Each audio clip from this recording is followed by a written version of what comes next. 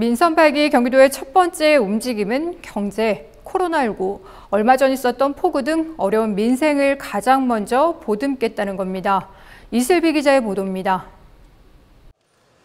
7월 1일 첫 출근에 나선 김동연 경기도지사. 출근길 인터뷰에서 어려운 시기를 지나고 있는 민생을 보살피는 데 우선순위를 두겠다며 포부를 밝혔습니다.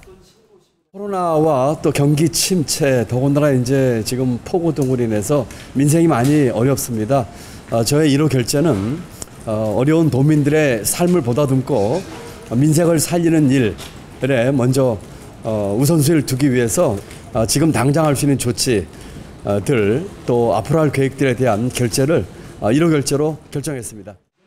김동연 지사의 첫 결제는 비상경제 대응 민생안정 종합계획. 경제 살리기에 본격적인 시동을 건 겁니다.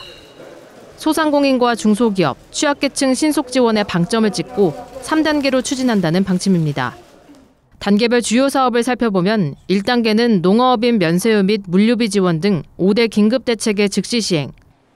2단계는 소상공인 대환 자금 지원, 지역화폐 10% 할인 지원 등 9개 과제가 포함됐습니다.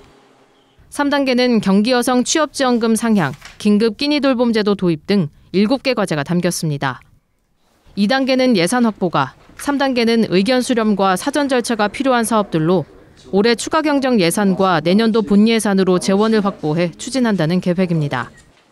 취임 전부터 취약계층을 위한 대책을 만드는 것이 중요하다는 김 지사의 의견이 반영돼 이번 민생안정 대책에는 이들을 위한 정책이 촘촘하고 두텁게 담겼습니다.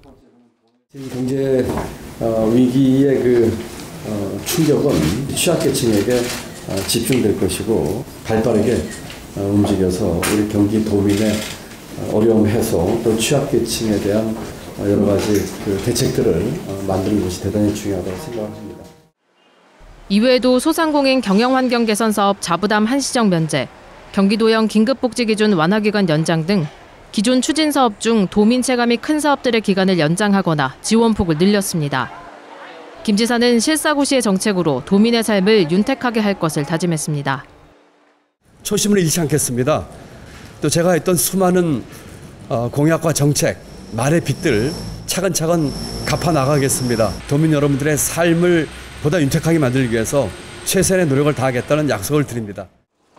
민선 8기 경기도는 추진 상황 점검을 위해 비상경제대책 전담반도 운영한다는 계획입니다. 경기지TV 이슬비입니다.